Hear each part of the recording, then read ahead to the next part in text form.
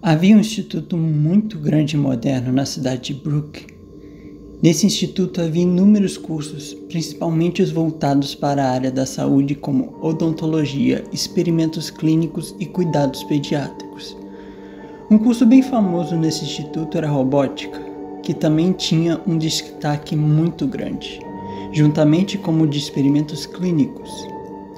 Um menino chamado Simon e seu amigo Ovan se matricularam no curso de experimentos clínicos na parte da noite. Porém, Simon estava preocupado com sua carga horária, já que ele fazia curso de manhã e em outro lugar também. No primeiro dia de aula no curso, que começava às sete da noite, Simon pe pegou o elevador e subiu até o andar da sala. O elevador era transparente, então ele podia ver tudo ao lado de fora. Como ele tinha chegado bem cedo, estava tudo claro.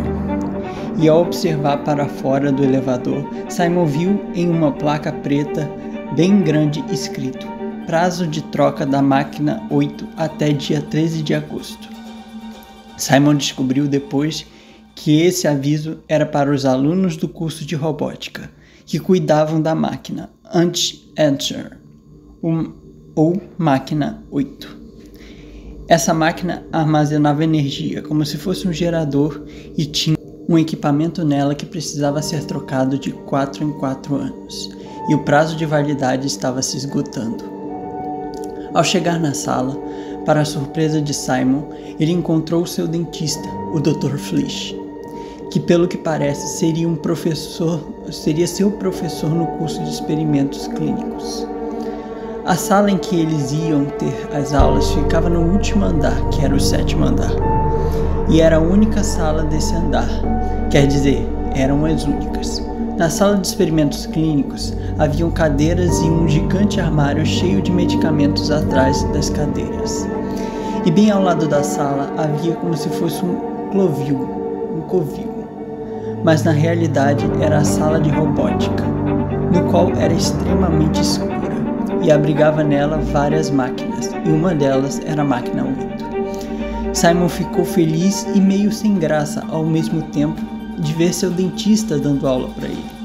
Mas o tempo, ele, mas com o tempo ele foi acostumando com a ideia. Passou alguns dias e as aulas estavam sendo bem legais para Simon. Ele só estava achando seu dentista bem estranho, como se no consultório ele fosse uma pessoa e ali ele fosse outra. O Dr. Fleet tinha feito um grupo dos alunos em uma rede social. E no dia anterior, o doutor escreveu: Amanhã quero ver todos na aula, sem falta.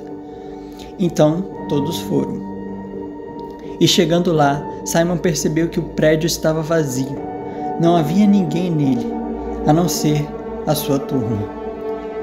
Ele percebeu também que a placa pedindo a troca do equipamento da máquina 8 foi retirada e estava escrito em uma outra placa amarela: Problema resolvido. Seguindo adiante, a turma percebeu que o Dr. Fleet estava mais estranho do que o normal. Ele não estava tão brincalhão e ficou com uma cara séria. Segundo Simon, ele estava muito mais sério do que realmente ele era no consultório. Então, ele começou a dar aula e no meio dela o Dr o Dr. Fleet disse: Turma, preciso resolver um problema. Fiquem aí, eu já volto. A turma percebeu em seus lugares. A turma permaneceu em seus lugares até que Simon começou a perceber umas luzes brilhando ao seu lado. E então ele viu que era, que era na sala de robótica. Eram duas luzes que piscavam de forma alternada, azul e vermelha, toda hora. Toda a turma achou muito estranho e eles ficaram olhando para as luzes sem perceber nada, até que um frio na espinha veio sobre cada uma daquela sala e a realidade trouxe a verdade assustadora sobre o fato. Era feriado. Passou-se alguns dias e estava sentado em, sentado em um shopping uma senhorinha almoçando com seu marido. Até que começa o Jornal das 15 Horas.